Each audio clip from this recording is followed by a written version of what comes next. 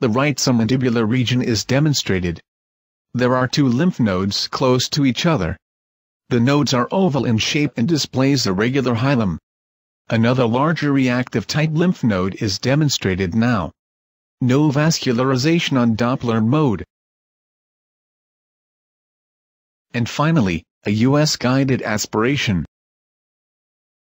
The tip of the needle is clearly visible, now.